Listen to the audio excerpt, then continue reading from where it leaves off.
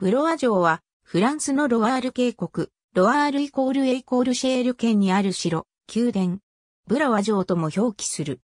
歴代フランス王の幾人かが住居とし、またジャンヌ・ダルクが1429年、オルレアンからイギリス人に向けて軍を出発させる前に、ランスの大司教から祝福を受けた場所でもある。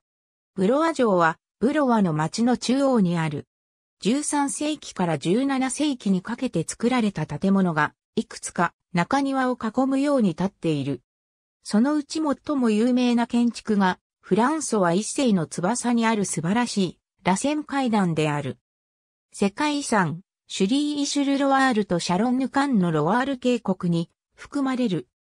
ルイ12世王の翼中世、ブロワ城は、ルイ12世の居城であり、王国の政治的首都であった。1500年代の初めに、王は城の再建とルネサンス様式の庭園の作成に取り掛かった。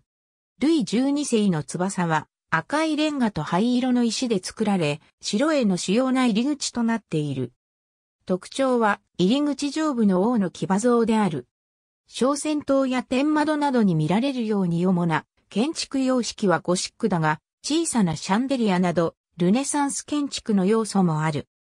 フランソは一世の螺旋階段サラマンダーの装飾。フランソは一世が王になると、クロード王妃はブロア城を改修させてアンボワーズ城から移ろうとする。フランソは一世は城に新しい翼を建設し、図書室を作った。しかし王妃が1524年に死ぬと、王がブロア城で過ごすことはほとんどなくなり、大量の蔵書はフォンテーヌブロー城に移されてビブリオテックナスヤナルが作られることとなった。この翼では建築や装飾にイタリアの影響が見られる。中央には美しい彫刻に囲まれた八角形の螺旋階段があり、城の中央の庭園が見渡せる。この螺旋階段はルネサンス様式の傑作と称される。この翼の後ろはファサードであり、ところどころにニッチのあるのが特徴である。城の壁にはフランソは一世のシンボルであるサラマンダーを、片切った装飾が施されている。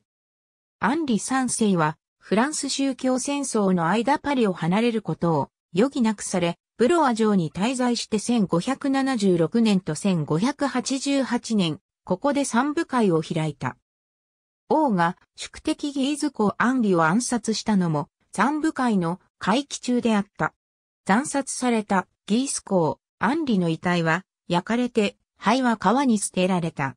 ギーズ公、アンリの暗殺は、ブロア城で起こった様々な事件の中でも鮮明なものとして知られる。その後、城はブルボン朝初代の王アンリ4世が使用していた。アンリが死ぬと、未亡人、マリー・ド・メディシスは一時期ブロワ城に幽閉された。オルレアン・コーガストンの翼。未完成。1626年、ルイ13世は結婚祝としてブロア城を弟のオルレアン・コーガストンに与えた。1635年に城の新しい翼の建設が始まったが、1660年にオルレアン公が死ぬと建設は頓挫した。オルレアン公の翼を建設する仕事を任されたのは、当時の有名な建築家、フランソワ・マンサールである。この翼は、中庭の後壁を形作り、ルイ12世翼とちょうど向かい合っている。翼の中央部分は3階層からなり、ドーリア式、イオニア式、コリント式のオーダーが重なり合っているのを見ることができる。フランス革命までの130年以上、巨大な城は放置されていた。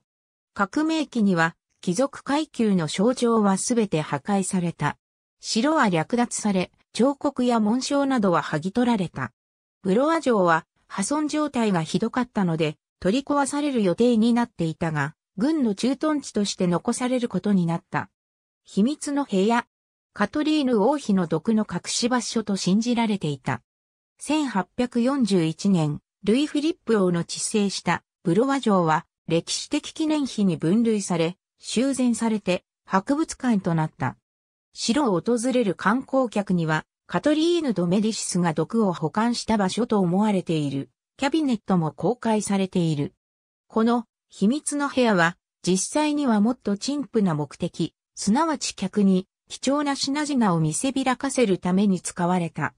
現在、城はブロワの町の所有となり、主要な観光地となっている。ありがとうございます。